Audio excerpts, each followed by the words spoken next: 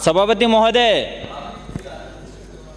आपने बजट 2024-25 पर बोलने के लिए मौका दिया। इसके लिए मेरी आसपुर विधानसभा के जनता और बिल प्रदेश की ओर से, मेरी ओर से आपको खूब खूब धन्यवाद जोहर करना चाहूँगा।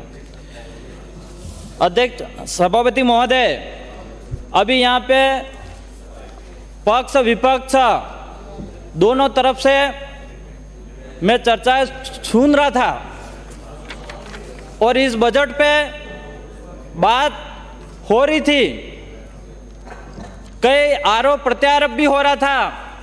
और पक्ष की तरफ़ से एक बात आ रही थी सदस्यों की ओर से कि भारतीय जनता पार्टी ने पूरे राजस्थान के अंदर सभी विधानसभा में कुछ ना कुछ बजट दिया ही हूँ लेकिन मैं भारतीय जनता पार्टी को, इन सदस्यों को कहना चाह रहा हूँ कि आसपुर विधानसभा को, इस बजट को मैंने तीन दिन पढ़ा, एक भी आसपुर विधानसभा की लाइन तक नहीं आई है।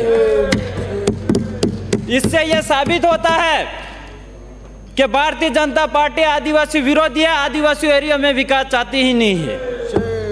आज मैं बिजली की बात करूँ, आज इस सदन के अंदर सदस्य बता रहे थे कि तीन घंटे, चार घंटे बिजली नहीं आ रही है। लेकिन मैं कहना चाह रहा हूँ कि मेरा आसपुर विधानसभा और हमारा डूंगरपुर बांसवाड़ा के अंदर वो हालत है जो दो घंटे की कटौती के नाम पे सात सात, आठ आठ घंटे कटौती की जा रही है और चार चार, पाँच पाँच दिन तक हमारे कई गाँवों के अंदर लाइट नहीं मिल रही है। वो एक भारतीय जनता पार्टी के कार्यकाल में हो रहा है ये।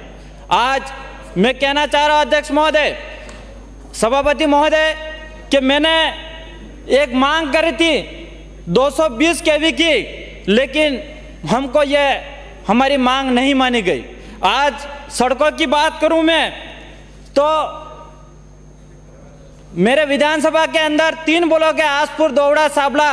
और पाल लेमरवाड़ा और निठावा की स्थिति वो है सड़कों की, जो देश आज़ाद हुआ, पिचहत्तर, छिहत्तर साल हो गया है, लेकिन आज भी वो सड़कें नहीं बनी हुई है और वहाँ पे जो लोग सड़क नहीं होने की वजह से कोई बीमार हो जाता है तो छः से सात किलोमीटर खाट पे पेशेंट को बिठा के, वहाँ दूर ले जाके, वाहन में बिठा के हॉस्पिटल तक पहुँचा रहा है। ऐसी स्थिति मेरी विधानसभा के अंदर है। लेकिन मैंने इस मान्य सभापति मैं आपके मार्फत से कहना चाह रहा मैंने यहाँ पे मुख्यमंत्री और मंत्री महोदय को भी मैंने मेरी मांगे विधानसभा की सड़कें दी थी, लेकिन वो सड़कें एक भी हमको इस बजट सत्र में नहीं दिया दिया गया। बड़ी दुख की बात है। आज मेरे बेणेश्वर की बात करूँ, मैंने नियम प्रक्रिया 295 के अंदर भी लगाया था और मैंने इस सदन के अंदर आवाज़ रखी थी।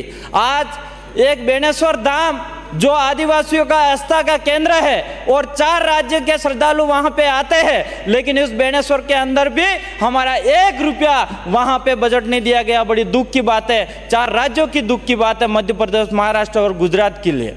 आज मैं शिक्षा की बात करूँ मेरे एरिया के अंदर तो वहाँ पे जो स्कूलें है, उस स्कूल क्रमोन्नत की गई है। उच्च प्राथमिक स्कूल, उच्च प्राथमिक करी गया है और माध्यमिक स्कूल उच्च माध्यमिक करी है क्रमोन्नत हुई है। लेकिन नियमानुसार इस विद्यालय के अंदर जो कमरे होने चाहिए, कक्षा कक्ष होने चाहिए, वो आज भी कक्षा कक्ष नियमानुसार नहीं है। आज निठावा की एक स्कूल की हालत बताओ आपको।